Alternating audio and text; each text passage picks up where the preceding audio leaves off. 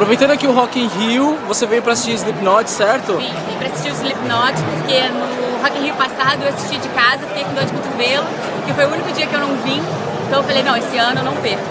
Certo, e você é fã de rock mesmo? Eu gosto, eu gosto muito de rock. Eu trouxe meu irmão, que é muito fã de rock pesado, então a gente vai unindo a família, os gostos e aproveitar também o evento que é muito legal, né?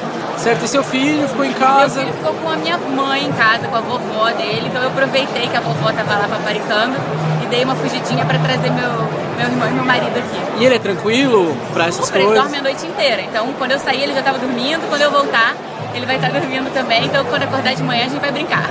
Legal. Então conta pra gente, qual foi o show da sua vida? O show da minha vida foi o show do Red Hot Chili Peppers, aqui no Rock in Rio.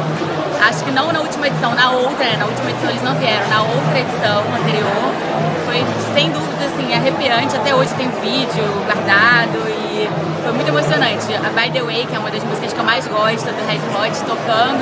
E, e eu já estava com meu marido e a gente curtiu muito o show, foi muito legal. Ah, que bom. Obrigado.